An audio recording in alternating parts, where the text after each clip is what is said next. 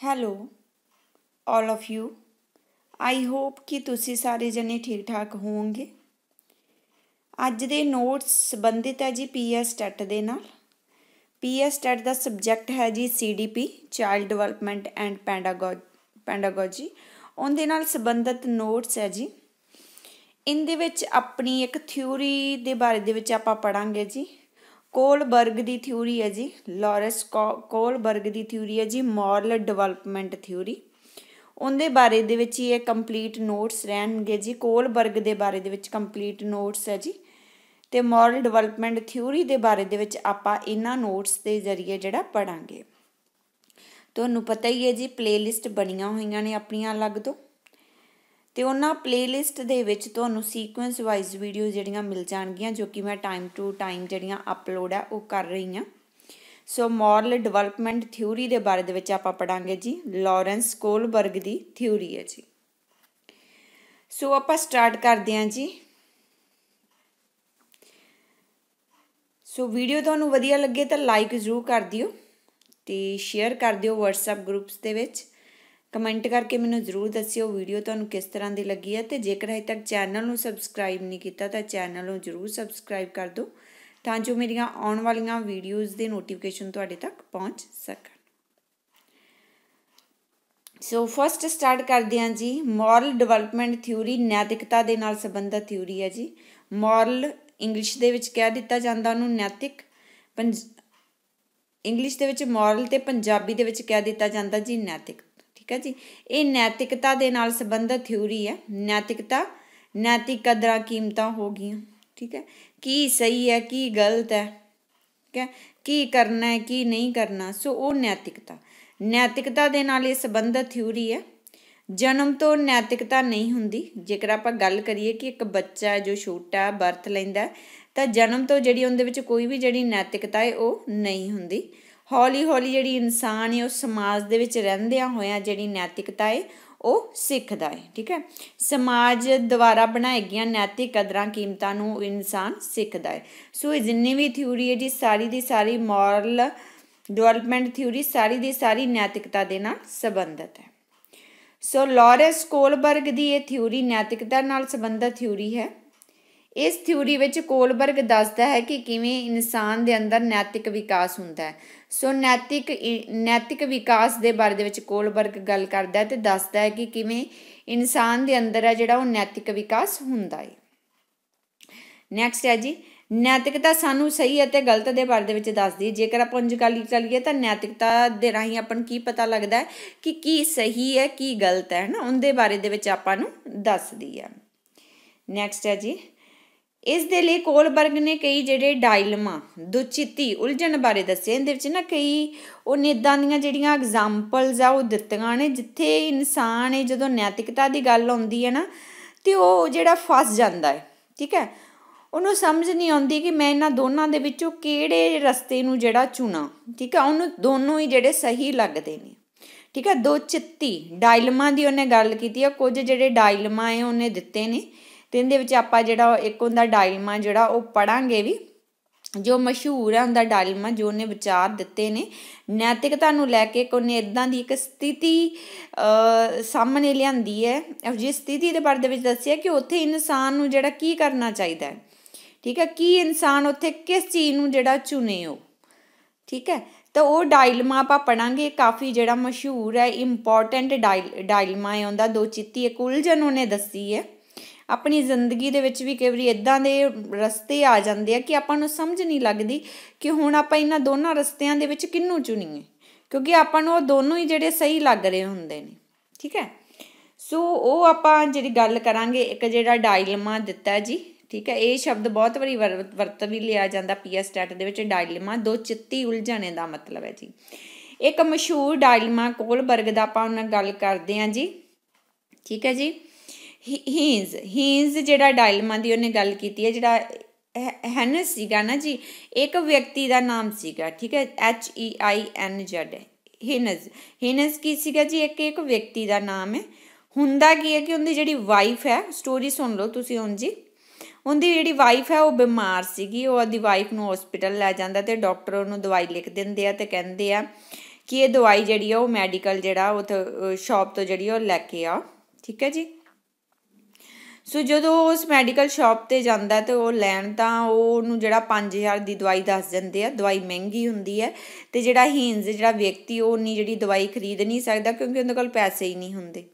ਹੁਣ ਜੇਕਰ ਉਹ ਮੈਡੀਸਨ ਨਹੀਂ ਖਰੀਦਦਾ ਤਾਂ ਉਹਦੀ ਜਿਹੜੀ ਪਤਨੀ ਦਾ ਇਲਾਜ ਨਹੀਂ ਸੀ ਹੋਣਾ, ਉਹਦੀ ਪਤਨੀ ਦੀ ਜਿਹੜੀ ਡੈਥ ਹੋ ਹੋ ਜਾਣੀ ਸੀ। ਠੀਕ ਹੈ? ਤੇ ਹੁਣ ਉਹ ਪੈਸੇ ਉਹਦੇ ਕੋਲ ਹੈ ਨਹੀਂ ਸੀ, ਮੈਡੀਕਲ ਵਾਲਾ, ਸ਼ਾਪ ਵਾਲਾ ਉਹਨੂੰ ਜਿਹੜਾ ਉਹਨੇ ਮੈਡੀਸਨ ਉਹਨੇ ਦਿੱਤੀ ਨਹੀਂ। ਤਾਂ ਉਹਨੇ ਕੀ ਕੀਤਾ? ਰਾਤ ਨੂੰ ਜਿਹੜੀ ਹੈ ਉਹ ਚੋਰੀ ਕਰ ਲਈ। ਠੀਕ ਹੈ? ਚੋਰੀ ਕਰ ਲਈ ਤੇ ਮੈਡੀਸਨ ਲਿਆ ਕੇ ਤੇ ਆਪਣੀ ਜਿਹੜੀ ਵਾਈਫ ਦੀ ਜਿਹੜੀ ਜਾਨ ਹੈ ਉਹ ਬਚਾ ਲਈ। ਹੁਣ ਗੱਲ ਇੱਥੇ ਇਹ ਹੈ ਕਿ ਇੱਕ ਚੋਰੀ ਕਰਨਾ ਵੀ ਤਾਂ ਗੁਨਾਹ ਹੈ। ਇੱਕ ਉਹਨੇ ਚੋਰੀ, ਉਹਦੇ ਕੋਲ ਵਿਕਲਪ ਸੀ ਕਿ ਉਹ ਚੋਰੀ ਕਰਕੇ ਜਾਨ ਜਿਹੜੀ ਆਪਣੀ ਵਾਈਫ ਦੀ ਬਚਾ ਲੇ। ਠੀਕ ਹੈ? ਤੇ ਦੂਸਰੇ ਪਾਸੇ ਉਹਨੂੰ ਇਹ ਵੀ ਪਤਾ ਸੀ ਚੋਰੀ ਹੈ ਜਿਹੜੀ ਉਹ ਗੁਨਾਹ ਹੈ। ਠੀਕ ਹੈ, ਤੇ ਜੇਕਰ ਉਹ ਨਾ ਕਰਦਾ ਚੋਰੀ, ਤਾਂ ਉਹਦੀ ਵਾਈਫ ਦੀ ਡੈਥ ਹੋ ਜਾਣੀ ਸੀਗੀ। ਹੁਣ ਇੱਥੇ ਜਿਹੜਾ ਉਹ ਦੁਚਿੱਤੀ ਦੇ ਵਿੱਚ ਸੀ, ਇੱਕ ਉਲਝਣ ਦੀ ਜਿਹੜੀ ਉਹਨੇ ਸਥਿਤੀ ਹੈ, ਇੱਕ ਜਿਹੜੀ ਆ ਕੋਲਬਰਗ ਨੇ ਸਾਹਮਣੇ ਜਿਹੜੀ ਪੇਸ਼ ਹੈ ਉਹ ਕੀਤੀ ਕਿ ਇੱਥੇ ਹੁਣ ਜਿਹੜੀ ਹੈ ਨੈਤਿਕਤਾ ਬਾਰੇ ਦੇ ਵਿੱਚ ਗੱਲ ਕੀਤੀ ਹੈ। ਜੇਕਰ ਇੱਥੇ ਆਪਾਂ ਗੱਲ ਕਰੀਏ, ਜਿਹੜਾ ਹਿੰਜ਼ ਜਿਹੜਾ ਵਿਅਕਤੀ ਸੀ, ਉਹਨੇ ਨੈਤਿਕਤਾ ਤੋਂ ਜਿਹੜੀ ਮਾਨਵਤਾ ਨੂੰ ਜਿਹੜੀ ਉਹਨੇ ਪਹਿਲ ਹੈ ਉਹ ਦੇ ਦਿੱਤੀ ਹੈ ਹੁਣ ਆਪਾਂ ਇਹਨੂੰ ਰੀਡ ਕਰਦੇ ਹਾਂ ਜੀ। ਹਿੰਜ਼ ਇੱਕ ਵਿਅਕਤੀ ਸੀ ਉਸ ਦੀ ਵਾਈਫ ਬਿਮਾਰ ਸੀ ਹਸਪੀਟਲ ਵਿੱਚ ਵਾਈਫ ਨੂੰ ਲੈ ਕੇ ਜਾਂਦਾ ਏ, ਦਵਾਈ ਲਈ ਮੈਡੀਕਲ ਦਵਾਈ ਲਈ ਉਹ ਮੈਡੀਕਲ ਸ਼ਾਪ ਤੇ ਜਾਂਦਾ ਏ। ਉਸਨੇ ਜਿਹੜੀ ਮੈਡੀਕਲ ਸ਼ਾਪ ਵਾਲਾ ਸੀ, ਉਹਨੇ ਜਿਹੜੀ ਸੀ ਦਵਾਈ ਉਹ 5000 ਦੀ ਦੱਸੀ। ਹਿੰਜ਼ ਜਿਹੜਾ ਵਿਅਕਤੀ ਸੀ, ਉਹ ਗਰੀਬ ਸੀ, ਉਹਦੇ ਕੋਲ ਪੈਸੇ ਹੈ ਨਹੀਂ ਸੀਗੇ ਤੇ ਉਹ ਦਵਾਈ ਖਰੀਦ ਨਹੀਂ ਸਕਿਆ। ਤੇ ਉਹਨੇ ਰਾਤ ਨੂੰ ਜਿਹੜੀ ਇਹ ਮੈਡੀਕਲ ਜਿਹੜੀ ਸ਼ਾਪ ਤੋਂ ਕੀ ਕਰ ਲਈ ਜੀ? ਚੋਰੀ ਕਰ ਲਈ, ਠੀਕ ਹੈ? ਤੇ ਉਹਦੀ ਪਤਨੀ ਦੇ ਜਿਹੜੀ ਜਾਨ ਹੈ ਉਹ ਦਵਾਈ ਦੇ ਨਾਲ ਬਚ ਗਈ। ਠੀਕ ਹੈ? ਉਸ ਨੇ ਨੈਤਿਕਤਾ ਤੋਂ ਮਾਨਵਤਾ ਨੂੰ ਜਿਹੜੀ ਪਹਿਲ ਦਿੱਤੀ। ਚੋਰੀ ਕਰਨਾ ਗੁਨਾਹ ਹੈਗਾ ਪਰ ਜੇਕਰ ਉਹ ਚੋਰੀ ਨਾ ਕਰਦਾ ਤਾਂ ਵਾਈਫ ਦੀ ਜਿਹੜੀ ਡੈਥ ਹੈ ਉਹ ਹੋ ਜਾਣੀ ਸੀ ਸੋ ਇਸ ਉਦਾਹਰਨ ਦੇ ਰਾਹੀਂ ਸਮਝਾਉਣ ਦੀ ਕੋਸ਼ਿਸ਼ ਕੀਤੀ ਗਈ ਹੈ ਕਿ ਕਈ ਵਾਰੀ ਇਨਸਾਨ ਅਜਿਹੀ ਪਰਿਸਥਿਤੀ ਦੇ ਵਿੱਚ ਫਸ ਜਾਂਦਾ ਹੈ ਕਿ ਕਿਸੇ ਇੱਕ ਨੂੰ ਚੁਣਨਾ ਪੈਂਦਾ ਹੈ ਤਾਂ ਕੋਲਬਰਗ ਨੇ ਇਸ ਨੂੰ ਜਿਹੜਾ ਡਾਇਲਮਾ ਦਾ ਨਾਮ ਦਿੱਤਾ ਹੈ। ਸੋ ਇੱਕ ਨੇ ਦੋ ਚਿੱਤੀ ਉਲਝਣ ਵਾਲੀ ਜਿਹੜੀ ਸਥਿਤੀ ਉਹ ਸਾਹਮਣੇ ਰੱਖੀ ਹੈ ਕਿ ਕਈ ਵਾਰੀ ਅਜਿਹੀਆਂ ਜਿਹੜੀਆਂ ਨੇ ਪਰਿਸਥਿਤੀਆਂ ਬਣ ਜਾਂਦੀਆਂ ਨੇ, ਫਸ ਜਾਂਦਾ ਕਿ ਉਹਨੂੰ ਜਿਹੜਾ ਕੋਈ ਇੱਕ ਨਾ ਇੱਕ ਜਿਹੜਾ ਰਸਤਾ ਉਹਨੂੰ ਜਿਹੜਾ ਚੁਣਨਾ ਪੈਂਦਾ ਹੈ ਠੀਕ ਹੈ? ਸੋ ਉਲਝਣ ਵਾਲੀ ਸਥਿਤੀ ਇੱਕ ਜਿਹੜਾ ਡਾਇਲਮਾ ਉਹਨੇ ਜਿਹੜਾ ਪੇਸ਼ ਆ ਕੋਲਬਰਗ ਨੇ ਉਹ ਕੀਤਾ ਕੁਝ ਤਾਂ ਇਹਦੇ ਵਿੱਚ ਜਿਹੜਾ ਚੋਰੀ ਕਰਨਾ ਉਹਨਾਂ ਨੂੰ ਗੁਨਾਹ ਦੱਸਿਆ, ਠੀਕ ਹੈ? ਕੋਈ ਉਹਦੇ ਪੱਖ ਦੇ ਵਿੱਚ ਸੀ, ਕੋਈ ਜਿਹੜਾ ਹਿੰਜ ਜਿਹੜਾ ਵਿਅਕਤੀ ਸੀ, ਉਹਨੇ ਚੋਰੀ ਕਰਕੇ ਉਹਦੀ ਜਾਨ ਬਚਾ ਲਈ, ਆਪਦੀ ਪਤਨੀ ਦੀ। ਕੁਝ ਲੋਕ ਉਹਦੇ ਪੱਖ ਦੇ ਵਿੱਚ ਸੀ, ਹਨਾ? ਅਲੱਗ-ਅਲੱਗ ਜਿਹੜੇ ਆ ਵਿਚਾਰ ਉਹ ਦਿੱਤੇ, ਹਨਾ? ਲੋਕਾਂ ਨੇ ਕੋਈ ਮਤਲਬ ਕਿ ਕਿਸੇ ਨੇ ਵਿਅਕਤੀ ਨੂੰ ਉਸ ਨੂੰ ਸਹੀ ਚੋਰੀ ਨੂੰ ਸਹੀ ਦੱਸਿਆ, ਕਿਸੇ ਨੇ ਨਹੀਂ ਸਹੀ ਦੱਸਿਆ। ਬਸ ਤੁਸੀਂ ਇਹਦੇ ਵਿੱਚ ਕੋਲਬਰਗ ਦੇ ਵਿੱਚ ਇਹ ਜਿਹੜਾ ਇੱਕ ਡਾਇਲਮਾ ਹੈ, ਜਿਹੜਾ ਇਹ ਹਿੰਜ ਵਿਅਕਤੀ ਦਾ, ਇਹਨੂੰ ਤੁਸੀਂ ਜਿਹੜਾ ਯਾਦ ਹੈ ਉਹ ਰੱਖਣਾ ਹੈ। ਨੈਕਸਟ ਆ ਜਾਓ ਜੀ। ਇਹਦੇ ਇੱਕ ਜਿਹੜੇ 3 ਸਟੈਪਸ ਨੇ ਦੀ ਮੋਰਲ ਡਿਵੈਲਪਮੈਂਟ ਜੋ ਇਹਦੀ ਆਪਾਂ ਥਿਊਰੀ ਤੇ ਉਹਨਾਂ ਆਪਾਂ ਨੇ ਇਹ ਤਾਂ ਇੱਕ ਕਹਿੰਦਾ ਜਿਹੜਾ ਡਾਇਲਮਾ ਸੀ, ਦੋ ਚਿੱਤੀ ਸੀ, ਉਲਝਣ ਵਾਲੀ ਸਥਿਤੀ ਦੀ ਆਪਾਂ ਗੱਲ ਕੀਤੀ ਹੈ। ਹੁਣ ਆਪਾਂ ਇਹਦੇ ਜਿਹੜੇ ਮੋਰਲ ਡਿਵੈਲਪਮੈਂਟ ਜਿਹੜੀ ਥਿਊਰੀ ਹੈ, ਆਪਾਂ ਉਹਦੀ ਗੱਲ ਕਰਾਂਗੇ, ਠੀਕ ਹੈ? ਮੋਰਲ ਡਿਵੈਲਪਮੈਂਟ ਥਿਊਰੀ ਹੈ ਜੀ, ਠੀਕ ਹੈ ਜੀ? ਇਹਦੀਆਂ ਜਿਹੜੀਆਂ 3 ਸਟੇਜਸ ਨੇ, ਜਿਹੜੀਆਂ ਨੇ ਉਹ ਕੋਲਬਰਗ ਨੇ ਦੱਸੀਆਂ ਨੇ। ਫਰਸਟ ਹੈਗੀ ਜੀ ਪ੍ਰੀ ਕਨਵੈਨਸ਼ਨਲ ਸਟੇਜ ਸੈਕਿੰਡ ਹੈ ਜੀ ਜੀ ਕਨਵੈਨਸ਼ਨਲ ਥਰਡ ਹੈਗੀ ਜੀ ਪੋਸਟ ਕਨਵੈਨਸ਼ਨਲ ਠੀਕ ਹੈ ਜੀ?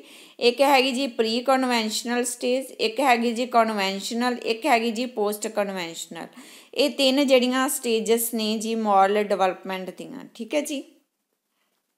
ਸੋ ਪ੍ਰੀ ਕਨਵੈਨਸ਼ਨਲ ਹੈ ਜਿਹੜੀ ਸਟੇਜ ਠੀਕ ਹੈ ਜੀ? ਇਹ ਜਿਹੜੀ ਸਟੇਜ ਹੈ ਜੀ, ਇਹ ਹੈਗੀ ਹੈ ਜੀ 4 ਤੋਂ ਲੈ ਕੇ 10 ਸਾਲ ਦਾ ਜਿਹੜਾ ਇਹ ਪੱਧਰ ਹੈ ਜੀ। 4 ਤੋਂ ਲੈ ਕੇ ਜਿਹੜਾ 10 ਸਾਲ ਦਾ ਜਿਹੜਾ ਇਹ ਪੱਧਰ ਹੈ ਜੀ ਪ੍ਰੀ ਕਨਵੈਨਸ਼ਨਲ ਠੀਕ ਹੈ ਜੀ? ਇਸ ਵਿੱਚ ਬੱਚਾ ਸਮਾਜ ਦੀ ਨੈਤਿਕਤਾ ਤੋਂ ਦੂਰ ਹੁੰਦਾ ਹੈ। ਮਤਲਬ ਕਿ ਇੱਥੇ ਬੱਚੇ ਨੂੰ ਨੈਤਿਕਤਾ ਦੇ ਬਾਰੇ ਦੇ ਵਿੱਚ ਨਹੀਂ ਪਤਾ ਹੁੰਦਾ, ਠੀਕ ਹੈ? ਉਹਨੂੰ ਜਿਵੇਂ ਦੱਸਿਆ ਜਾਂਦਾ ਹੈ, ਜਿਵੇਂ ਗਾਈਡ ਕੀਤਾ ਜਾਂਦਾ ਜਿਵੇਂ ਸਮਝਾਇਆ ਜਾਂਦਾ ਹੈ ਜਿਵੇਂ ਮਤਲਬ ਉਹਨੂੰ ਸਮਝ ਜਾਂ ਉਹਨੂੰ ਲਾਲਚ ਦੇ ਕੇ ਜਿਹੜਾ ਸਮਝ ਉਹਦੇ ਕੋਲ ਨੈਤਿਕ ਕੰਮ ਕਰਵਾਏ ਜਾਂਦੇ ਨੇ। ਸੋ ਇਸ ਤਰ੍ਹਾਂ ਦੇ ਜਿਹੜਾ ਬੱਚੇ ਦੀ ਜਿਹੜੀ ਸਥਿਤੀ ਆ ਉਹ ਹੁੰਦੀ ਹੈ ਬੱਚੇ ਦੇ ਵਿੱਚ ਅੰਦਰ ਦਿਲ ਤੋਂ ਜਿਹੜੀ ਨੈਤਿਕਤਾ ਹੈ ਉਹ ਨਹੀਂ ਹੁੰਦੀ। ਉਹ ਸਮਾਜ ਦੀ ਜਿਹੜੀ ਨੈਤਿਕਤਾ ਤੋਂ ਦੂਰ ਹੁੰਦਾ। ਜਿਵੇਂ ਵੱਡਿਆਂ ਦਾ ਸਤਿਕਾਰ ਕਰਨਾ, ਚੋਰੀ ਕਰਨਾ ਪਾਪ ਹੈ। ਇਹਨਾਂ ਚੀਜ਼ਾਂ ਦੇ ਬਾਰੇ ਦੇ ਵਿੱਚ ਬੱਚੇ ਨੂੰ ਜਿਹੜਾ ਉਹ ਨਹੀਂ ਪਤਾ ਹੁੰਦਾਗਾ। ਠੀਕ ਹੈ? ਕਿਉਂਕਿ ਉਹ ਛੋਟਾ ਹੁੰਦਾ, ਉਹਨੂੰ ਨਹੀਂ ਸਮਝ ਆਉਂਦੀ। ਜਿਵੇਂ ਉਹਨੂੰ ਜੇਕਰ ਕੋਈ ਘਰੇ ਕੋਈ ਆਉਂਦਾ, ਰਿਸ਼ਤੇਦਾਰ ਆਉਂਦਾ, ਤਾਂ ਮਾਤਾ ਪਿਤਾ ਨੂੰ ਕਹਿੰਦੇ ਆ ਵੀ ਇਹਨੂੰ ਸਤਿ ਸ਼੍ਰੀ ਅਕਾਲ ਬੁਲਾਓ, ਹਨਾ? ਚੰਗੀ ਤਰ੍ਹਾਂ ਨਾਲ ਪੇਸ਼ ਹੋਣਾ, ਹਨਾ? ਜਦ ਸਿਆਣਾ ਬਣ ਕੇ ਬੱਚਾ ਉਦੋਂ ਰਹਿੰਦਾ ਵਾ, ਹੈਨਾ? ਸੋ ਇਹ ਪ੍ਰੀ ਕਨਵੈਨਸ਼ਨਲ ਸਟੇਜ ਹੈ ਜੀ, ਜਿੱਥੇ ਜਿਹੜਾ ਬੱਚਾ ਜਿਹੜਾ ਸਮਾਜ ਦੀ ਨੈਤਿਕਤਾ ਤੋਂ ਦੂਰ ਹੁੰਦਾ ਹੈ।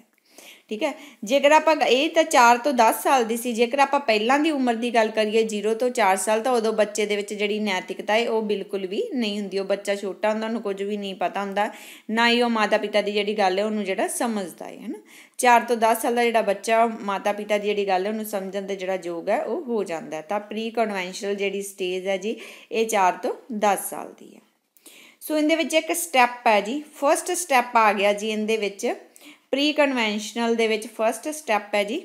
ਸਟੈਪ ਲਗਾ ਲਓ ਲੈਵਲ ਲਗਾ ਲਓ ਫੀਸ ਲਗਾ ਲਓ, ਠੀਕ ਹੈ ਜੀ? ਫੀਸ ਲਗਾ ਲਓ। ਫਰਸਟ ਫਰਸਟ ਹੈ ਜੀ ਓਬੀਡੈਂਸ ਐਂਡ ਪਨਿਸ਼ਮੈਂਟ ਇੱਕ ਤਾਂ ਆਗਿਆ ਪਾਲਨ ਤੇ ਇੱਕ ਸਜ਼ਾ। ਸੋ ਇੱਥੇ ਜਿਹੜਾ ਨੈਤਿਕ ਜਿਹੜੀਆਂ ਨੈਤਿਕਤਾ ਜਿਹੜਾ ਬੱਚਾ ਸਿੱਖਦਾ ਜਾਂ ਉਹ ਚੰਗਾ ਬਣਦਾ ਉਹ ਦੋ ਤਰੀਕਿਆਂ ਦੇ ਨਾਲ ਬਣਦਾ ਵਾ। ਆਪਾਂ ਰੀਡ ਕਰਦੇ ਹਾਂ ਜੀ। ਜੇ ਬੱਚੇ ਨੂੰ ਕਿਹਾ, ਮਤਲਬ ਜੋ ਬੱਚੇ ਨੂੰ ਕਿਹਾ ਜੀ, ਜੇ ਨਹੀਂ, ਜੋ ਆਊਗਾ। ਜੋ ਬੱਚੇ ਨੂੰ ਕਿਹਾ, ਬੱਚਾ ਉਹੀ ਕਰਦਾ ਹੈ। ਬੱਚੇ ਨੂੰ ਕਿਹਾ ਕਿ ਸਤਿ ਸ਼੍ਰੀ ਅਕਾਲ, ਬੁਲਾਓ, ਧੰਨਵਾਦ ਕਰੋ ਤੇ ਬੱਚੇ ਨੇ ਆਗਿਆ ਦਾ ਪਾਲਣ ਕੀਤਾ। ਮਤਲਬ ਕਿ ਜਿਵੇਂ ਬੱਚੇ ਨੂੰ ਦੱਸਿਆ ਜਾਂਦਾ ਹੈ ਮਾਤਾ ਪਿਤਾ ਦੇ ਦੁਆਰਾ ਕਿ ਜੇਕਰ ਉਹਨੂੰ ਕਿਸੇ ਨੇ ਕੁਝ ਖਾਣ ਦੇ ਲਈ ਦਿੱਤਾ, ਕੋਈ ਚੀਜ਼ ਦਿੱਤੀ ਹੈ ਤਾਂ ਉਹਨੂੰ ਕਿਹਾ ਜਾਂਦਾ ਬੱਚੇ ਨੂੰ ਕਿ ਥੈਂਕ ਯੂ ਬੋਲੋ, ਠੀਕ ਹੈ? ਸਤਿ ਸ਼੍ਰੀ ਅਕਾਲ, ਬੁਲਾਓ, ਕੋਈ ਆਇਆ ਕਰੇ ਤਾਂ ਉਦੋਂ ਕਿਹਾ ਜਾਂਦਾ, ਤਾਂ ਬੱਚਾ ਉਦੋਂ ਮਾਤਾ ਪਿਤਾ ਦੀ ਆਗਿਆ ਦਾ ਪਾਲਣ ਕਰਦਾ ਉਹਨੂੰ ਮਤਲਬ ਇਹ ਨਹੀਂ ਪਤਾ ਹੁੰਦਾ ਕਿ ਇਹ ਮੈਂ ਬੁਲਾਉਣੀ ਹੈ, ਉਹਨੂੰ ਦੱਸਿਆ ਜਾਂਦਾ ਤੇ ਫਿਰ ਜਾ ਕੇ ਜਿਹੜਾ ਬੱਚਾ ਹੈ ਉਹ ਬੁਲਾਉਂਦਾ ਹੈ, ਠੀਕ ਹੈ? ਉਹਨੂੰ ਮਤਲਬ ਦਿਲ ਤੋਂ ਜਿਹੜੀ ਉਹ, ਜਿਹੜੀਆਂ ਚੀਜ਼ਾਂ ਉਹ ਨਹੀਂ ਪਤਾ ਹੋਣੀ, ਪਤਾ ਹੁੰਦੀਆਂ, ਬਸ ਉਹਨੂੰ ਕਿਹਾ ਜਾਂਦਾ ਤੇ ਉਦਾਂ ਉਹ ਆਗਿਆ ਦਾ ਪਾਲਣ ਕਰਦਾ ਹੈ। ਜਾਂ ਉਹ ਜਿਹੜਾ ਨੈਤਿਕ, ਜਿਹੜੀਆਂ ਕਦਰਾਂ ਕੀਮਤਾਂ ਨੇ ਨੈਤਿਕਤਾ, ਉਹਨਾਂ ਦੀ ਪਾਲਣਾ ਤਾਂ ਕਰਦਾ ਪਨਿਸ਼ਮੈਂਟ ਤੋਂ, ਸਜ਼ਾ ਦੇ ਡਰ ਤੋਂ। ਪਨਿਸ਼ਮੈਂਟ ਦੇ ਡਰ ਤੋਂ ਬੱਚਾ ਜਿਹੜੀ ਹੈ, ਜਿਹੜੀ ਗੱਲ ਹੈ, ਤੁਹਾਡੀ ਗੱਲ ਮੰਨਦਾ ਹੈ। ਉਹ ਦਿਲ ਤੋਂ ਨਹੀਂ ਕਰਦਾ ਕੰਮ, ਸਿਰਫ ਡਰ ਜਾਂ ਕਹਿਣ ਤੇ ਕਰਦਾ ਮਤਲਬ ਇਹਦੇ ਵਿੱਚ ਦਿਲ ਤੋਂ ਨਹੀਂ ਕਰਦਾ। ਮਤਲਬ ਉਹਨੂੰ ਡਰ ਹੁੰਦਾ ਕਿ ਜੇਕਰ ਮੈਂ ਨਾ ਕੀਤਾ ਤਾਂ ਫਿਰ ਮੈਨੂੰ ਜਿਹੜਾ ਗੁੱਸੇ ਹੋਣਗੇ, ਜੇ ਮੈਨੂੰ ਡਾਂਟਣਗੇ, ਹਨਾ? ਤਾਂ ਉਹ ਮਤਲਬ ਕਿ ਡਰ ਤੋਂ ਹੀ ਜਿਹੜਾ ਉਹ ਕੰਮ ਕਰਦਾ ਹੈ। ਸੋ ਬੱਚੇ ਦੀ ਨੈਤਿਕਤਾ ਨੂੰ ਜਿਹੜੀ ਪ੍ਰਭਾਵਿਤ ਹੈ, ਉਹ ਆਗਿਆਕਾਰਤਾ ਤੇ ਜਿਹੜੀ ਸਜ਼ਾ ਹੈ, ਉਹ ਕਰਦੀ ਹੈ, ਬੱਚੇ ਦੀ ਨੈਤਿਕਤਾ ਨੂੰ ਪ੍ਰਭਾਵਿਤ ਕਰਦੀ ਹੈ ਜੀ ਆਗਿਆਕਾਰਤਾ ਤੇ ਸਜ਼ਾ। ਇੱਕ ਤਾਂ ਓਬੀਡੈਂਸ ਕਰਦੀ ਹੈ ਜੀ ਠੀਕ ਹੈ ਜੀ, ਪ੍ਰਭਾਵਿਤ ਬੱਚੇ ਨੂੰ। ਇੱਕ ਜਿਹੜੀ ਹੈ ਪਨਿਸ਼ਮੈਂਟ ਹੈ, ਉਹ ਕਰਦੀ, ਸਜ਼ਾ ਕਰਦੀ ਹੈ ਤੇ ਇੱਕ ਜਿਹੜਾ ਆਗਿਆ ਦਾ ਪਾਲਣ ਜਿਹੜਾ ਉਹਨੂੰ ਬੱਚੇ ਨੂੰ ਸਿਖਾਇਆ ਜਾਂਦਾ ਨਾ, ਵੱਡਿਆਂ ਦਾ ਕਹਿਣਾ ਮੰਨਣਾ। ਸੋ ਉਹ ਚੀਜ਼ਾਂ ਜਿਹੜੀਆਂ ਬੱਚੇ ਨੂੰ ਪ੍ਰਭਾਵਿਤ ਕਰਦੀਆਂ ਨੇ, ਨੈਤਿਕ ਜਿਹੜੀਆਂ ਨੈਤਿਕਤਾ ਜਿਹੜੀ ਆ ਉਹ ਪੈਦਾ ਬੱਚੇ ਦੇ ਵਿੱਚ ਹੁੰਦੀ ਹੈ ਤੋਂ ਨਾ ਪਰ ਬੱਚਾ ਇਹ ਚੀਜ਼ਾਂ ਜਿਹੜੀਆਂ ਦਿਲ ਤੋਂ ਨਹੀਂ ਨਿਭਾਉਂਦਾ। ਨੈਕਸਟ ਆ ਜੋ। ਜੀ ਸਟੈਪ ਲੈਵਲ ਫੇਜ਼ ਸੈਕਿੰਡ ਹੈ ਜੀ। ਇਹ 8 ਤੋਂ ਜਿਹੜਾ 10 ਸਾਲ ਦਾ ਹੈ। ਠੀਕ ਹੈ 8 ਤੋਂ 10 ਸਾਲ ਦਾ ਇਹਦੇ ਵਿੱਚ ਕੀ ਆ? ਰਿਵਾਰਡ ਹੈ ਇਨਾਮ ਹੈ ਤੇ ਟਿਟ ਫੋਰ ਟੈਟ ਹੈ ਜੀ, ਅਦਲੇ ਦਾ ਬਦਲਾ ਹੈ।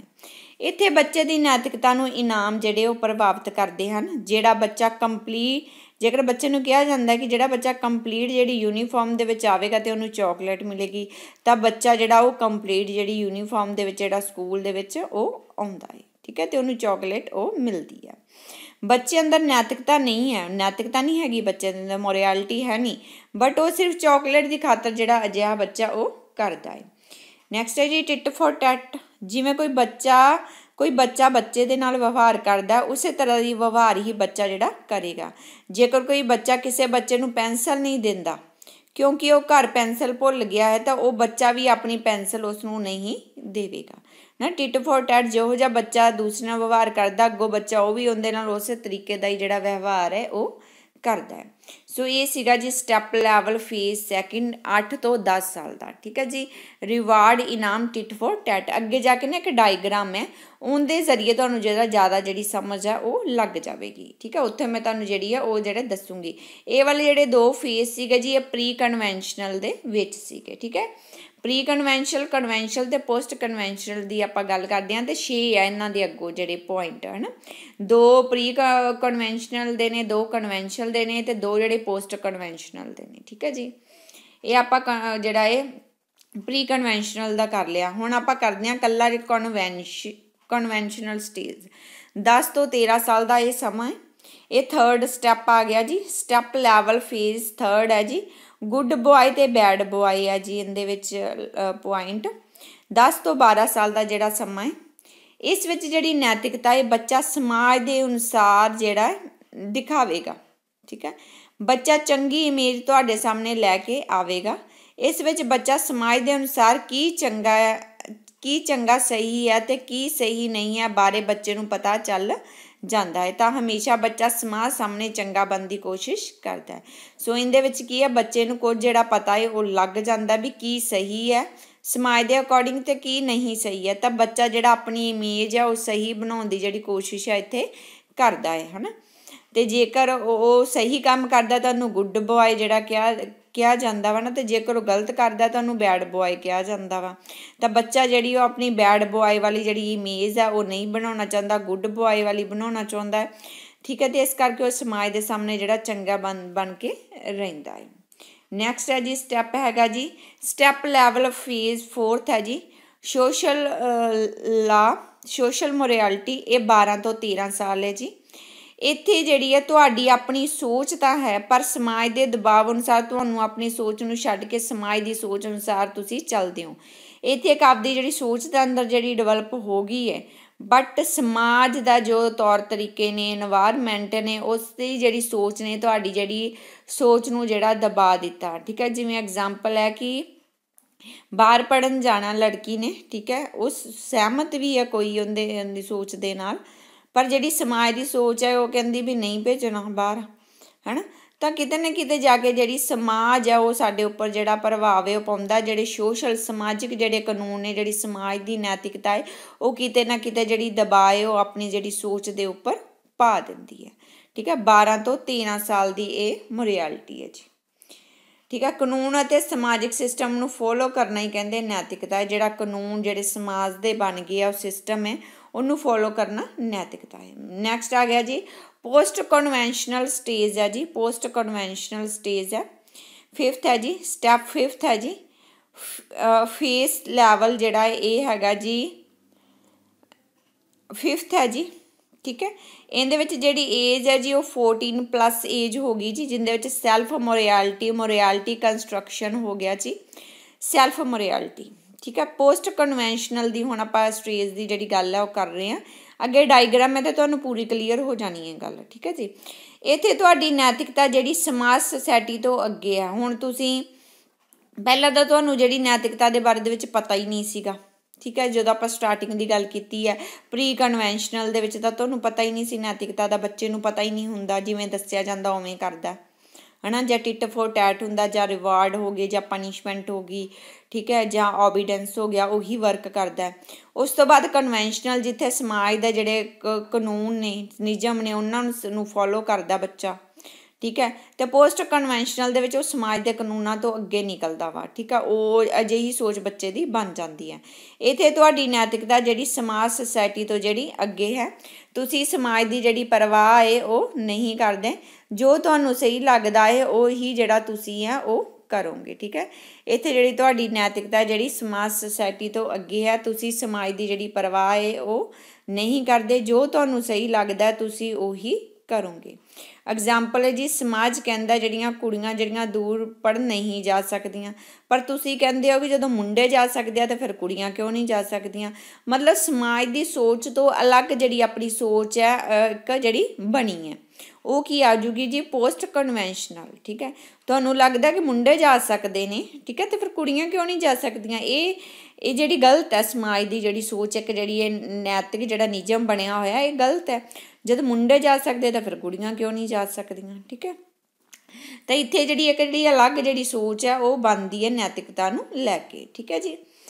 ਸਟੈਪ ਲਾਸਟ ਹੈ ਜੀ ਸਟੈਪ 6 ਹੈ ਜੀ ਫੇਸ ਲੈਵਲ 6 ਹੈ ਜੀ ਯੂਨੀਵਰਸਲ ਮੋਰੈਲਿਟੀ ਹੈ ਜੀ। ਇਹ ਮੋਰੈਲਿਟੀ ਜਿਹੜੀ ਮਾਨਵਤਾ ਵਾਲੀ ਹੈ, ਜਦੋਂ ਤੁਸੀਂ ਆਪਣੇ ਨਾਲ ਹੋਰ ਲੋਕਾਂ ਦੀ ਸੋਚ ਨੂੰ ਬਦਲਣ ਦੀ ਕੋਸ਼ਿਸ਼ ਕਰਦੇ ਹੋ, ਸਮਾਜ ਦੀ ਜਿਹੜੀ ਪਰਵਾਹ ਹੈ, ਉਹ ਤੁਸੀਂ ਨਹੀਂ ਕਰਦੇ। ਸੋ ਇੱਥੇ ਕੀ ਹੈ ਜੀ 6 ਲੈਵਲ ਨੰਬਰ ਤੇ ਕੀ ਹੈ ਜੀ? ਜਦੋਂ ਆਪ, ਆਪਣੀ ਇੱਕ ਜਿਹੜੀ ਹੈ ਮਤਲਬ ਕਿ ਜਿਹੜੀ ਇੱਕ ਸੋਚ ਬਣੀ ਹੈ ਸਮਾਜ ਤੋਂ ਅਲੱਗ ਬਣੀ ਹੈ ਹੁਣ ਉਹ ਤੁਹਾਡੇ ਤੱਕ ਸੀਮਤ ਨਹੀਂ ਹੈ ਤੁਸੀਂ ਚਾਹੁੰਦੇ ਹੋ ਕਿ ਉਹ ਸਾਰਿਆਂ ਤੱਕ ਜਿਹੜੀ ਉਹ ਸੋਚ ਮੇਰੀ ਇਹ ਜਾਵੇ ਤੇ ਬਾਕੀ ਵੀ ਜਿਹੜੇ ਚੇਂਜ ਹੋਣ ਯੂਨੀਵਰਸਲ ਮੋਰੈਲਿਟੀ ਲੈ ਕੇ ਤੁਸੀਂ ਚੱਲਦੇ ਹੋ, ਠੀਕ ਹੈ? ਇਹ ਮੋਰੈਲਿਟੀ ਜਿਹੜੀ ਮਾਨਤਾ ਵਾਲੀ ਹੈ ਚੇਂਜ ਕਰਨ ਦੀ ਕੋਸ਼ਿਸ਼ ਕਰਦੇ ਹੋ ਤੁਸੀਂ ਸਮਾਜ ਦੀ ਸੋਚ ਨੂੰ, ਨਿਯਮਾਂ ਨੂੰ, ਨੈਤਿਕਤਾ ਨੂੰ। ਠੀਕ ਹੈ? ਤਾਂ ਸਮਾਜ ਦੀ ਇੱਥੇ ਜਿਹੜੀ ਤੁਸੀਂ ਪਰਵਾਹ ਨਹੀਂ ਕਰਦੇ, ਤਾਂ ਇਹ ਉਹ ਵਾਲੀ ਨੈਤਿਕਤਾ, ਮਾਨਵਤਾ ਵਾਲੀ ਨੈਤਿਕਤਾ ਹੈ ਠੀਕ ਹੈ ਜੀ? ਸੋ ਇਹ ਸਟੈਪ ਹੈਗਾ ਸੀ 6 ਠੀਕ ਹੈ ਜੀ? ਸੋ ਕੁਝ ਜਿਹੜੇ ਪੁਆਇੰਟ ਹੈ ਜੀ ਇਹਦੇ ਨਾਲ ਸੰਬੰਧਿਤ, ਇੱਕ ਤਾਂ ਆ ਗਿਆ ਜੀ ਮੋਰਲ ਰੀਅਲਿਜ਼ਮ ਦੀ ਗੱਲ ਕੀਤੀ ਹੈ ਕੋਲਬਰਗ ਨੇ। ਜਦੋਂ ਤੁਸੀਂ ਚੇਂਜ ਕੀਤੇ ਬਿਨਾ ਸਮਾਜ ਦੀ ਨੈਤਿਕਤਾ ਨੂੰ ਉਸੇ ਤਰ੍ਹਾਂ ਹੀ ਮੰਨ ਲੈਂਦੇ ਹੋ, ਤਾਂ ਉਹਨੂੰ ਜਿਹੜਾ ਮੋਰਲ ਰੀਅਲਿਜ਼ਮ ਕਿਹਾ ਜਾਂਦਾ ਹੈ।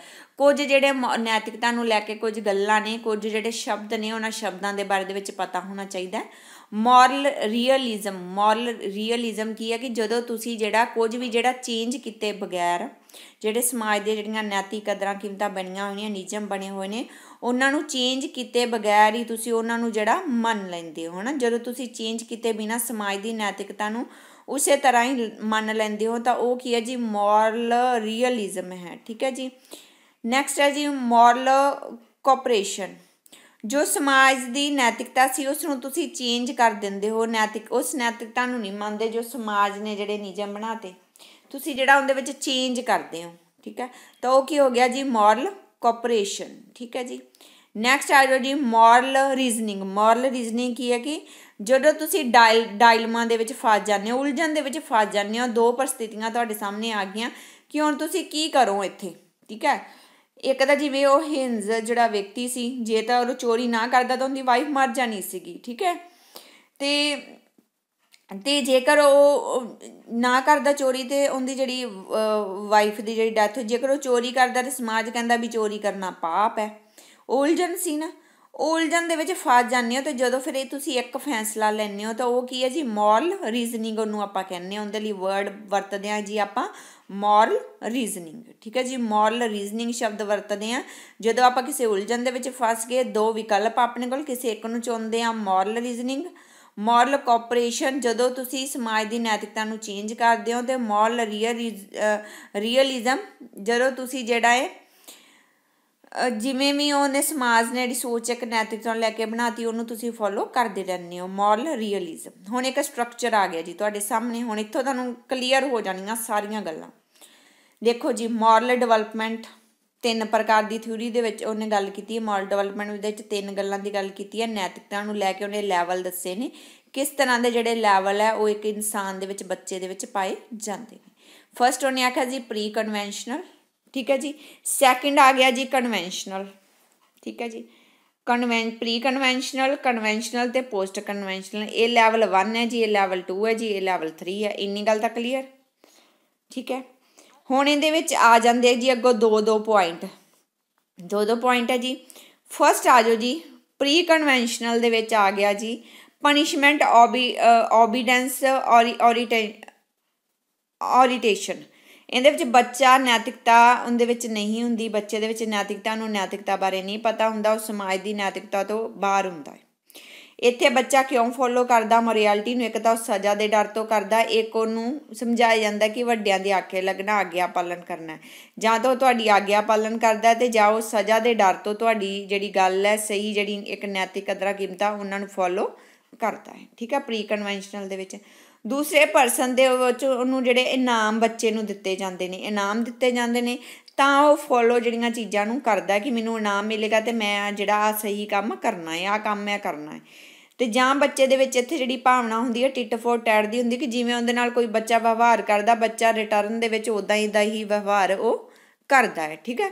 ਇਸ ਤਰ੍ਹਾਂ ਦੀਆਂ ਚੀਜ਼ਾਂ ਇੱਕ ਬੱਚੇ ਦੇ ਵਿੱਚ ਜਿਹੜੀਆਂ ਪਾਈਆਂ ਜਾਂਦੀਆਂ ਨੇ 4 ਤੋਂ ਲੈ ਕੇ 10 ਸਾਲ ਦੇ। ਠੀਕ ਹੈ? ਇਹ ਐਕਸਟਰਨਲ ਰੂਪ ਹੈ, ਸਮਾਜ ਦੀ ਨੈਤਿਕਤਾ ਤੋਂ ਬਾਹਰ ਦਾ ਜਿਹੜਾ ਰੂਪ ਹੈ। ਠੀਕ ਹੈ ਜੀ? 4 ਤੋਂ ਲੈ ਕੇ 10 ਸਾਲ, ਠੀਕ ਹੈ? ਇੱਕ ਹੈਗੀ ਸੀ 4 ਤੋਂ ਲੈ ਕੇ ਮੇਬੀ 8 ਸਾਲ ਤੇ ਇੱਕ 8 ਤੋਂ ਜਿਹੜੀ 10 ਸਾਲ 8 ਤੋਂ 10 ਸਾਲ personal reward tit for tat ਤੇ ਇਹ ਹੈਗੀ ਸੀ 4 ਤੋਂ ਲੈ ਕੇ ਜਿਹੜੀ ਹੈ 8 ਤੱਕ। ਠੀਕ ਹੈ ਜੀ? ਨੈਕਸਟ ਆ ਗਿਆ ਜੀ, ਹੁਣ ਉਹ ਤਾਂ ਪਤਾ ਲੱਗ ਗਿਆ ਵੀ ਉਹ ਬੱਚਾ ਜਿਹੜਾ ਸੀ, ਉਹ ਛੋਟਾ ਸੀਗਾ ਤੇ ਉਹਨੂੰ ਪਤਾ ਹੀ ਨਹੀਂ ਸੀ ਨੈਤਿਕਤਾ ਬਾਰੇ, ਜਾਂ ਤਾਂ ਉਹ ਪਨਿਸ਼ਮੈਂਟ ਦੇ ਡਰ ਤੋਂ ਜਾਂ ਰਿਵਾਰਡ ਦੀ ਖਾਤਰ ਜਾਂ ਉਹ ਟਿਟ ਫॉर ਟੈਟ ਵਾਲੀ ਭੂਮਿਕਾ ਨਿਭਾਉਂਦਾ ਤੇ ਜਾਂ ਉਹ ਆਗਿਆ ਪਾਲਣ ਕਰਦਾ। ਠੀਕ ਹੈ? ਇੱਥੇ ਆਉਗੀ ਗੱਲ ਖਤਮ। ਹੁਣ ਆ ਜਾਓ 10 ਤੋਂ ਲੈ ਕੇ ਜਿਹੜੇ ਬੱਚੇ ਸੀਗੇ 10 ਤੋਂ ਲੈ ਕੇ 14 ਸਾਲ ਦੇ ਬੱਚੇ ਆ ਗਏ ਜੀ ਕਨਵੈਨਸ਼ਨਲ ਦੇ ਵਿੱਚ, ਠੀਕ ਹੈ? ਇੱਥੇ ਕੀ ਹੈ? ਸਮਾਜ ਦੇ ਨੈਤਿਕ ਕਦਰਾਂ ਕੀਮਤਾਂ ਦੇ ਬਾਰੇ ਦੇ ਵਿੱਚ ਬੱਚੇ ਨੂੰ ਜਿਹੜਾ ਪਤਾ ਹੈ, ਉਹ ਇੱਥੇ ਚੱਲ ਜਾਂਦਾ ਵਾ, ਠੀਕ ਹੈ? ਇਹ ਲੈਵਲ ਸੈਕਿੰਡ ਹੈ, ਇੱਥੇ ਗੁੱਡ ਬੁਆਏ ਬੈਡ ਬੁਆਏ ਵਾਲੀ ਓਰੀਟੇਸ਼ਨ ਹੈ, ਕਿ ਉਹ ਜਿਹੜਾ ਸਮਾਜ ਦਾ ਕੀ ਕਹਿੰਦਾ ਜੋ ਸਮਾਜ ਸਹੀ ਕਹਿੰਦਾ, ਉਹਨੂੰ ਜਿਹੜਾ ਫੋਲੋ ਕਰਦਾ ਬੱਚਾ, ਠੀਕ ਹੈ? ਉਹਨੂੰ ਫੋਲੋ ਕਰਦਾ ਸਮਾਜ ਦੇ ਸਾਹਮਣੇ ਚੰਗਾ ਬੰਦਾ, ਉਂਝ ਭਾਵੇਂ ਉਹ ਜਿਹੜੀਆਂ ਸ਼ਰਾਰਤਾਂ ਹੀ ਕਰਦਾ ਵਾ। ਠੀਕ ਆ ਗੁੱਡ ਬੁਆਏ ਆਪਣੀ ਇਮੇਜ ਜਿਹੜੀ ਚੰਗੀ ਬਣਾਉਣ ਦੀ ਜਿਹੜੀ ਕੋਸ਼ਿਸ਼ ਆ, ਉਹ ਕਰਦਾ, ਅੱਗੇ ਪਿੱਛੇ ਨਾ ਪੜੇ ਜੇਕਰ ਕੋਈ ਘਰੇ ਆਇਆ ਤਾਂ ਉਦੋਂ ਕਿਤਾਬਾਂ ਖੋਲ ਕੇ ਪੜਨ ਲੱਗ ਜਾਂਦਾ ਕਿ ਮੈਂ ਪੜਦਾ ਹੈਨਾ? So good boy bad boy orientation ਤੇ ਇੱਕ ਉਹ ਸੋਸ਼ਲ ਲਾ ਤੇ ਸੋਸ਼ਲ ਮੋਰੈਲਿਟੀ ਨੂੰ ਮੰਨਦਾ ਵੈ, ਸਮਾਜ ਦੇ ਕਾਨੂੰਨਾਂ ਨੂੰ ਮੰਨਦਾ, ਆਪਣੀ ਜਿਹੜੀ ਆਪ ਨਹੀਂ ਦੇਖਦਾ ਵੀ ਇਹ ਸਹੀ ਹੈ ਜਾਂ ਗਲਤ ਹੈ। ਸਮਾਜ ਕੀ ਕਹਿੰਦਾ? ਸਮਾਜ ਦੀ ਸੋਚ ਕੀ ਕਹਿੰਦੀ? ਨਿਯਮ ਕੀ ਕਹਿੰਦੇ? ਉਹਨਾਂ ਨੂੰ ਫੋਲੋ ਇੱਥੇ ਜਿਹੜਾ ਇਸ ਉਮਰ ਦੇ ਵਿੱਚ ਜਿਹੜਾ ਕੀਤਾ ਹੈ, ਉਹ ਜਾਂਦਾ ਹੈ। ਰੂਲਸ ਆ ਰੂਲ ਜਿਹੜੇ ਸਮਾਜ ਨੇ ਕਾਨੂੰਨ ਬਣਾਤੇ, ਉਹੀ ਜਿਹੜੇ ਸਹੀ ਨੇ। ਠੀਕ ਹੈ ਜੀ? ਇੱਥੇ ਅਗਰ ਐਗਜ਼ਾਮਪਲ ਲਈ ਸੀ ਕਿ ਗਰਲ ਨੂੰ ਜਿਹੜਾ ਬਾਹਰ ਭੇਜਣਾ ਪੜਨ ਭੇਜਣਾ ਬਟ ਸਮਾਜ ਕਹਿੰਦਾ ਨਹੀਂ ਭੇਜਣਾ ਤਾਂ ਮਤਲਬ ਨਹੀਂ ਭੇਜਣਾ। ਠੀਕ ਹੈ ਜੀ? ਇਹ ਹੋ ਗਈ ਇੱਥੇ ਜਿਹੜੇ ਸਮਾਜ ਦੇ ਨਿਯਮਾਂ ਨੂੰ ਜਿਹੜਾ ਫੋਲੋ ਕੀਤਾ ਜਾਂਦਾ ਕਨਵੈਨਸ਼ਨਲ ਦੇ ਵਿੱਚ। ਤੇ ਪੋਸਟ ਕਨਵੈਨਸ਼ਨਲ ਆ ਗਈ ਥਰਡ ਲੈਵਲ ਇਹਦੇ ਵਿੱਚ ਸਮਾਜ ਦੀ ਪਰਵਾਹ ਨਹੀਂ ਕੀਤੀ ਜਾਂਦੀ। ਸਮਾਜ ਦੇ ਨਿਯਮਾਂ ਦੀ ਪਰਵਾਹ ਨਹੀਂ ਕੀਤੀ ਜਾਂਦੀ। ਠੀਕ ਹੈ ਜੀ? ਲੈਵਲ ਥਰਡ ਹੈ ਜੀ। ਇੱਥੇ ਹੁੰਦੀ ਹੈ ਸੈਲਫ ਮੋਰੈਲਿਟੀ ਮੋਰੈਲਿਟੀ ਕੰਸਟਰਕਸ਼ਨ ਠੀਕ ਹੈ? ਉਹ ਉਹ ਇੱਥੇ ਜਿਹੜੇ ਸਵਾਲ ਉਠਾਏ ਜਾਂਦੇ ਆ, ਜਿਹੜੀਆਂ ਸਮਾਜ ਦੀਆਂ ਗਲਤ, ਜਿਹੜੀਆਂ ਨੈਤਿਕਤਾ ਜਿਹੜੀ ਬਣੀ ਹੋਈ ਹੈ, ਹਨਾ? ਜਿਵੇਂ ਕੁੜੀ ਨੂੰ ਜਿਹੜਾ ਨਹੀਂ ਭੇਜਣਾ, ਉਹ ਕਹਿੰਦੇ ਜੇਕਰ ਮੁੰਡੇ ਬਾਹਰ ਪੜਨ ਜਾ ਸਕਦੇ ਤੇ ਫਿਰ ਕੁੜੀਆਂ ਕਿਉਂ ਨਹੀਂ ਜਾ ਸਕਦੀਆਂ? ਆਪਦੀ ਜਿਹੜੀ ਇੱਕ ਜਿਹੜੀ ਸੋਚ ਹੈ, ਇੱਥੇ ਜਿਹੜੀ ਡਿਵੈਲਪ ਹੈ, ਉਹ ਹੁੰਦੀ ਹੈ। ਦੇਖਿਆ ਜਾਂਦਾ ਵੀ ਕੀ ਸਹੀ ਹੈ। ਠੀਕ ਹੈ, ਸਹੀ ਦਾ ਸਾਥ ਦਿੱਤਾ ਜਾਂਦਾ ਹੈ ਨਾ ਕਿ ਸਮਾਜ ਨੇ ਜੋ ਨਿਯਮ ਨੈਤਿਕਤਾ ਬਣਾਤੀ, ਉਹਨਾਂ ਨੂੰ ਫੋਲੋ ਕੀਤਾ ਜਾਂਦਾ ਹੈ, ਠੀਕ ਹੈ। ਇਹ ਸਮਾਜ ਤੋਂ ਬਾਹਰ ਆਪਦੀ ਸੋਚ ਦੇ ਨਾਲ ਜਿਹੜਾ ਚੱਲਿਆ ਜਾਂਦਾ ਵਾ ਪੋਸਟ ਕਨਵੈਨਸ਼ਨਲ ਠੀਕ ਹੈ। ਸੈਲਫ ਮੋਰੈਲਿਟੀ ਮੋਰੈਲਿਟੀ ਕੰਸਟਰਕਸ਼ਨ ਤੇ ਯੂਨੀਵਰਸਲ ਮੋਰੈਲਿਟੀ ਵੈਲਿਊ ਇਹ ਹੈਗੀ ਹੈ ਜੀ 6 ਨੰਬਰ ਵਾਲੀ ਸਟੇਜ ਇਹਦੇ ਵਿੱਚ ਕੀ ਹੈ? ਕਿ ਜਿਹੜੀ ਇਹਦੀ ਅਲੱਗ ਸੋਚ ਬਣ ਗਈ ਸਮਾਜ ਦੇ ਨਿਯਮਾਂ ਤੋਂ, ਸਮਾਜ ਦੀ ਨੈਤਿਕਤਾ ਤੋਂ ਤੇ ਯੂਨੀਵਰਸਲ ਮੋਰੈਲਿਟੀ ਵੈਲਿਊਜ਼ ਦੇ ਵਿੱਚ ਉਹ ਕਹਿੰਦਾ ਕਿ ਮੇਰੀ ਸੋਚ ਤਾਂ ਇਦਾਂ ਦੀ ਸਮਾਜ ਤੋਂ ਅਲੱਗ ਹੈ ਤੇ ਮੈਂ ਬਾਕੀ ਲੋਕਾਂ ਦੀ ਵੀ ਜਿਹੜੀ ਸੋਚ ਹੈ ਉਹਨੂੰ ਜਿਹੜਾ ਚੇਂਜ ਹੈ ਉਹ ਕਰਨਾ ਹੈ। ਉਹ ਯੂਨੀਵਰਸ ਯੂਨੀਵਰਸਲ ਮੋਰੈਲਿਟੀ ਜਿਹੜੇ ਆ ਕਾਇਮ ਕਰਨ ਦੀ ਜਿਹੜੀ ਕੋਸ਼ਿਸ਼ ਹੈ, ਉਹ ਕਰਦਾ ਹੈ। ਕਿ ਆਪਦੀ ਇਹ ਸੋਚ ਨੂੰ ਮੈਂ ਹੋਰਾਂ ਲੋਕਾਂ ਤੱਕ ਵੀ ਪਹੁੰਚਾਵਾਂ ਤੇ ਇਸ ਨੈਤਿਕਤਾ ਨੂੰ ਜਿਹੜਾ ਲੋਕ ਹੈ, ਉਹ ਜਿਹੜਾ ਫੋਲੋ ਕਰਨ। ਸੋ ਇਹ ਸੈਲਫ ਚੂਜ਼ਨ ਦੇ ਨਾਲ ਚੂਜ਼ ਦੇ ਨਾਲ ਜਿਹੜਾ, ਚੁਣਾਵ ਦੇ ਨਾਲ ਜਿਹੜੀ ਸੰਬੰਧਿਤ ਹੈ ਜੀ। ਠੀਕ ਹੈ? ਇਹ ਫਰਸਟ ਫੇਜ਼ ਆ ਗਿਆ ਜੀ, ਹੁਣ ਦੇਖੋਗੇ ਤੁਸੀਂ। ਇਹ ਫਰਸਟ ਫੇਜ਼ ਹੈ ਜੀ, ਇਹ ਸੈਕੰਡ ਫੇਜ਼ ਹੈ ਥਰਡ ਫੇਜ਼ ਹੈ, ਇਹ ਫੋਰਥ ਹੈ ਜੀ, ਇਹ ਫਿਫਥ ਹੈ ਤੇ ਇਹ ਸਿਕਸ ਹੈ। ਉਂਝ ਜੇਕਰ ਆਪਾਂ ਮੋਰਲ ਡਿਵੈਲਪਮੈਂਟ ਦੀ ਗੱਲ ਕਰੀਏ ਤਾਂ ਤਿੰਨਾਂ ਦੇ ਵਿੱਚ ਇਹਦੀ ਵੰਡ ਕੀਤੀ ਗਈ ਹੈ ਮੋਰਲ ਡਿਵੈਲਪਮੈਂਟ ਨੂੰ ਤਿੰਨ ਬਟ ਇਹਨਾਂ ਦੇ ਜਿਹੜੇ ਦੋ ਦੋ ਫੇਜ਼ ਹੈ, ਇਹਨਾਂ ਦੇ ਵਿੱਚ। ਸੋ ਇੱਕ ਡਾਇਗਰਾਮ ਸੀ ਜਿੱਥੋਂ ਕਿ ਤੁਹਾਨੂੰ ਜਿਹੜਾ ਕਲੀਅਰ ਹੈ, ਉਹ ਸਾਰਾ ਜਿਹੜਾ ਹੋ ਗਿਆ ਹੋਊਗਾ, ਠੀਕ ਹੈ ਜੀ? ਬਹੁਤ ਹੀ ਸੌਖਾ ਜਿਹਾ, ਨੈਤਿਕਤਾ ਦੀ ਗੱਲ ਹੋਈ ਹੈ ਬੇਸਿਕਲੀ ਇੱਥੇ। ਸੋ ਹੁਣ ਕ੍ਰਿਟਿਸਿਜ਼ਮ ਇਹਦਾ ਕਰ ਲੈਣੇ ਆ ਠੀਕ ਹੈ? ਕ੍ਰਿਟਿਸਿਜ਼ਮ ਹੈ ਜੀ। ਇਸ ਥਿਊਰੀ ਦੀ ਜਿਹੜੀ ਆਲੋਚਨਾ ਦੀ ਜੇਕਰ ਆਪਾਂ ਗੱਲ ਕਰੀਏ ਤਾਂ ਕਾਰਲ ਗਿਲਗਨ ਨੇ ਇਹਦੀ ਜਿਹੜੀ ਆਲੋਚਨਾ ਕੀਤੀ ਹੈ ਇਸ ਥਿਊਰੀ ਦੀ, ਠੀਕ ਹੈ? ਲੁੱਕ ਆਫ ਆਫਟਰ ਮੋਰੈਲਿਟੀ ਦੇ ਵਿੱਚ ਜਿਹੜੀ ਇਹਨੇ ਜਿਹੜੀ ਆਲੋਚਨਾ ਹੈ ਉਹ ਕੀਤੀ ਹੈ ਜੀ, ਠੀਕ ਹੈ ਜੀ? ਕਾਰਲ ਗਿਲਗਨ ਨੇ, ਠੀਕ ਹੈ ਜੀ? ਸੈਕਿੰਡ ਨੰਬਰ ਤੇ ਸੱਭਿਆਚਾਰ ਕਲ ਉਹ ਕਹਿੰਦਾ ਕਿ ਸੱਭਿਆਚਾਰ ਕਲਚਰ ਦੀ ਕੋਈ ਵੀ ਗੱਲ ਨਹੀਂ ਕੀਤੀ ਜੀ ਕੋਲਬਰਗ ਨੇ। ਇਹਨੇ ਜਿਹੜਾ ਕੋਲਬਰਗ ਨੇ ਜਿਹੜੀ ਹੈ ਸੱਭਿਆਚਾਰ ਕਲਚਰ ਦੀ ਗੱਲ ਨਹੀਂ ਕੀਤੀ, ਹਰ ਇੱਕ ਸਮਾਜ ਦਾ ਜਿਹੜਾ ਕਲਚਰ ਹੈ ਉਹ ਅਲੱਗ ਤਰੀਕੇ ਦਾ ਹੁੰਦਾ ਹੈ। ਆਪਾਂ ਕਿਵੇਂ ਕਹਿ ਸਕਦੇ ਹਾਂ ਕਿ ਇੱਥੇ ਜਿਹੜੀ ਨੈਤਿਕਤਾ ਬਣੀ ਹੋਈ ਹੈ, ਉਹ ਕਿਸੇ ਦੂਸਰੀ ਥਾਂ ਤੇ ਉਸ ਤਰੀਕੇ ਦੀ ਨੈਤਿਕਤਾ ਹੋਵੇਗੀ। ਹੋ ਸਕਦਾ ਸੋਚ ਅਲੱਗ-ਅਲੱਗ ਤਰੀਕੇ ਦੀ ਹੋਵੇ ਸਮਾਜ ਦੀ, ਠੀਕ ਹੈ, ਅਲੱਗ-ਅਲੱਗ ਨਿਯਮ ਹੋਣ। ਸੋ ਸੱਭਿਆਚਾਰ ਕਲਚਰ ਦੀ ਕੋਲਬਰਗ ਨੇ ਕੋਈ ਵੀ ਗੱਲ ਨਹੀਂ ਕੀਤੀ ਹੈ। ਸਾਰੀਆਂ ਥਾਵਾਂ ਥੋੜੀ ਇੱਕੋ ਜੀ ਚੀਜ਼ ਉਹ ਹੋ ਸਕਦੀ, ਇੱਕੋ ਜਿਹੇ ਨਿਯਮ ਹੋ ਸਕਦੇ ਆ। ਸੋ ਥਰਡ ਨੰਬਰ ਤੇ ਕੀ ਇਹ ਥਿਊਰੀ ਜੈਂਡਰ ਬਾਈਸ ਹੈ। ਗਿਲਿਗਨ ਦੇ ਅਨੁਸਾਰ ਇਹ ਥਿਊਰੀ ਕੀ ਹੈ? ਜੈਂਡਰ ਬਾਈਸ ਹੈ, ਕਿਉਂਕਿ ਇਹਦੇ ਵਿੱਚ ਸਿਰਫ ਜਿਹੜੀ ਮੇਲ ਦੀ ਗੱਲ ਹੀ ਕੀਤੀ ਗਈ ਹੈ। ਫੀਮੇਲ ਦੀ ਕੋਈ ਗੱਲ ਹੀ ਨਹੀਂ ਕੀਤੀ ਗਈ। ਸਿਰਫ ਮੇਲ ਮੈਂਬਰਸ ਨੂੰ ਜਿਹੜੀ ਇੰਪੋਰਟੈਂਸ ਹੈ ਤੇ ਦਿੱਤੀ ਗਈ ਇਸ ਕਰਕੇ ਇਹ ਵਾਲੀ ਥਿਊਰੀ ਜਿਹੜੀ ਹੈ ਜੈਂਡਰ ਬਾਈਸ ਹੈ ਜੀ। 4 ਨੰਬਰ ਤੇ ਜੀ ਇਸ ਥਿਊਰੀ ਦੇ ਵਿੱਚ 99% ਜਿਹੜੇ ਐਕਸਪੈਰੀਮੈਂਟ ਕੀਤੇ ਗਏ ਨੇ, ਉਹ ਮੇਲ ਤੇ ਹੀ ਕੀਤੇ ਗਏ ਨੇ। ਮਰਦਾਂ ਦੇ ਮੇਲ ਤੇ ਹੀ ਜਿਹੜੇ ਕੀਤੇ ਗਏ ਨੇ 99% ਐਕਸਪੈਰੀਮੈਂਟ ਜਿੰਨੇ ਵੀ ਤਜਰਬੇ ਨੇ ਆਪਦੇ ਕੀਤੇ ਨੇ, ਜਿਵੇਂ ਹੀਨਸ ਵਿਅਕਤੀ ਦਾ ਤਜਰਬਾ ਉਹਨੇ ਕੀਤਾ ਵਾ, ਹਨਾ। ਸਾਰੇ ਮੇਲ ਮੈਂਬਰਸ ਦੇ ਤਜਰਬੇ ਕੀਤੇ ਨੇ, ਇਸ ਆਧਾਰ ਤੇ ਵੀ ਆਲੋਚਨਾ ਕੀਤੀ ਕਿ ਇਹ ਜੈਂਡਰ ਬਾਈਸ ਹੈ, ਠੀਕ ਹੈ। ਨੇ ਫੀਮੇਲ ਦੀ ਕੋਈ ਗੱਲ ਹੀ ਨਹੀਂ ਕੀਤੀ, ਠੀਕ ਹੈ। 5 ਨੰਬਰ ਤੇ ਜੀ ਫੈਮਿਲੀ ਇਨਫਲੂਐਂਸ ਨੂੰ ਜਿਹੜਾ ਇਗਨੋਰ ਕਰ ਦਿੱਤਾ ਇਸ ਥਿਊਰੀ ਦੇ ਵਿੱਚ। ਫੈਮਿਲੀ ਇਨਫਲੂਐਂਸ ਦੀ ਗੱਲ ਹੀ ਨਹੀਂ ਕੀਤੀ ਕਿ ਪਰਿਵਾਰ ਦਾ ਵੀ ਜਿਹੜਾ ਹੈ, ਉਹ ਵੀ ਜਿਹੜਾ ਉੱਤੇ ਜਿਹੜਾ ਪ੍ਰਭਾਵ ਪੈਂਦਾ ਸੋ ਫੈਮਿਲੀ ਇਨਫਲੂਐਂਸ ਦੀ ਵੀ ਜਿਹੜੀ ਕੋਈ ਜਿਹੜੀ ਗੱਲ ਹੈ, ਉਹ ਨਹੀਂ ਕੀਤੀ। ਉਹਨੂੰ ਜਿਹੜਾ ਇਗਨੋਰ ਕੀਤਾ ਗਿਆ ਕਹਿੰਦੇ ਇਸ ਥਿਊਰੀ ਦੇ ਵਿੱਚ। ਠੀਕ ਹੈ ਜੀ। ਨੈਕਸਟ ਆ ਗਈ ਜੀ ਕਾਰਲ ਗਿਲੀਗਨ ਨੇ ਆਪਣੀ ਇੱਕ ਜਿਹੜੀ ਥਿਊਰੀ ਦਿੱਤੀ ਸੀਗੀ ਕੇਅਰ ਪਰਸਪੈਕਟਿਵ ਥਿਊਰੀ ਦਿੱਤੀ ਸੀ ਕਾਰਲ ਗਿਲੀਗਨ ਨੇ। ਕੇਅਰ ਪਰਸਪੈਕਟਿਵ ਥਿਊਰੀ ਦਿੱਤੀ ਉਸ ਅਨੁਸਾਰ ਕੀ ਸੀ? ਜਿਹੜੇ ਕੇਅਰ ਕੀਤੀ ਜਾਂਦੀ ਹੈ, ਕੇਅਰ ਕਰਨਾ ਹੀ ਉਹਦੇ ਅਨੁਸਾਰ ਹੈ, ਨੈਤਿਕਤਾ ਹੁੰਦੀ ਹੈ। ਸੋ ਉਸ ਅਨੁਸਾਰ ਕੇਅਰ ਕਰਨਾ ਹੀ ਨੈਤਿਕਤਾ ਹੁੰਦੀ ਹੈ। ਸੋ ਕਾਰਲ ਗਿਲੀਗਨ ਨੇ ਥਿਊਰੀ ਦਿੱਤੀ ਸੀ ਆਪਣੀ। ਉਹਦੀ ਥਿਊਰੀ ਦਾ ਨਾਮ ਸੀਗਾ ਜੀ ਕੇਅਰ ਪਰਸਪੈਕਟਿਵ ਥਿਊਰੀ ਸੀ ਕੇਅਰ। ਕੇਅਰ ਪਰਸਪੈਕਟਿਵ ਥਿਊਰੀ ਸੀਗੀ, ਉਸ ਦੇ ਅਨੁਸਾਰ ਜਿਹੜਾ ਕੇਅਰ ਕਰਨਾ ਹੀ ਜਿਹੜੀ ਨੈਤਿਕਤਾ ਉਹ ਹੁੰਦੀ ਹੈ। ਠੀਕ ਹੈ ਜੀ? ਸੋ ਇਹ ਸੀਗੀ ਜੀ ਥਿਊਰੀ। ਆਪਣੀ ਕੋਲ ਵਰਗ ਦੀ। ਸੋ ਕੰਪਲੀਟ ਹੋ ਗਈ ਹੈ ਜੀ ਇੱਥੇ। ਸੋ ਇਹਦੇ ਵਿੱਚ ਜਿਹੜੇ ਕੁਐਸਚਨ ਇੱਕ ਤਾਂ ਤੁਹਾਨੂੰ ਲੈਵਲਸ ਦੇ ਵਿੱਚੋਂ ਪੁੱਛ ਲੈਂਦੀ ਆ। ਠੀਕ ਹੈ ਮੇਨ ਮੇਨ ਜਿਹੜੀਆਂ ਚੀਜ਼ਾਂ ਉਹਨਾਂ ਨੂੰ ਤੁਸੀਂ ਯਾਦ ਜਿਹੜੀਆਂ ਰੱਖੋ। ਠੀਕ ਹੈ ਜੀ, ਇੱਕ ਤਾਂ ਜਿਵੇਂ ਆ ਪੂਰਾ ਸਟਰਕਚਰ ਇਹਨੂੰ ਯਾਦ ਰੱਖ ਦਿਓ ਕਿੰਨੇ ਲੈਵਲਸ ਹੈ, ਠੀਕ ਹੈ ਮੋਲ ਡਿਵੈਲਪਮੈਂਟ ਥਿਊਰੀ ਦੇ ਮੋਲ ਡਿਵੈਲਪਮੈਂਟ ਥਿਊਰੀ ਕਿੰਨੇ ਦਿੱਤੀ ਹੈ। ਠੀਕ ਹੈ, ਇਹਦੇ ਫੇਸ ਕਿਹੜੇ ਕਿਹੜੇ ਨੇ ਲੈਵਲ ਕਿਹੜੇ ਕਿਹੜੇ ਨੇ, ਉਹਨਾਂ ਨੂੰ ਜਿਹੜਾ ਅੱਗੋਂ ਯਾਦ ਕਰੋ। ਠੀਕ ਹੈ ਸੋ ਇੱਦਾਂ ਜਿਹੜਾ ਤੁਸੀਂ ਯਾਦ ਹੈ ਇਹਨੂੰ ਜਿਹੜਾ ਕਰਨਾ ਹੈ। ਸੋ ਇਹ ਅਸੀਂ ਆਪਣੀ ਕੰਪਲੀਟ ਵੀਡੀਓ ਵੀਡੀਓ ਤੁਹਾਨੂੰ ਵਧੀਆ ਲੱਗੀ ਹੈ ਤਾਂ ਵੀਡੀਓ ਨੂੰ ਲਾਈਕ ਕਰ ਦਿਓ ਜੀ। ਸ਼ੇਅਰ ਕਰ ਦਿਓ ਆਪਣੇ ਫਰੈਂਡਸ ਦੇ ਨਾਲ, WhatsApp ਗਰੁੱਪ ਦੇ ਵਿੱਚ। ਮੈਨੂੰ ਕਮੈਂਟ ਕਰਕੇ ਜ਼ਰੂਰ ਦੱਸੋ ਵੀਡੀਓ ਤੁਹਾਨੂੰ ਕਿਸ ਤਰ੍ਹਾਂ ਦੀ ਲੱਗੀ ਹੈ। ਤੇ ਜੇਕਰ ਹਜੇ ਤੱਕ ਚੈਨਲ ਨੂੰ ਸਬਸਕ੍ਰਾਈਬ ਨਹੀਂ ਕੀਤਾ ਤਾਂ ਚੈਨਲ ਨੂੰ ਜ਼ਰੂਰ ਸਬਸਕ੍ਰਾਈਬ ਕਰ ਦਿਓ ਤਾਂ ਜੋ ਮੇਰੀਆਂ ਆਉਣ ਵਾਲੀਆਂ ਵੀਡੀਓਜ਼ ਦੇ ਨੋਟੀਫਿਕੇਸ਼ਨ ਤੁਹਾਡੇ ਤੱਕ ਪਹੁੰਚ ਸਕਣ। Thanks for watching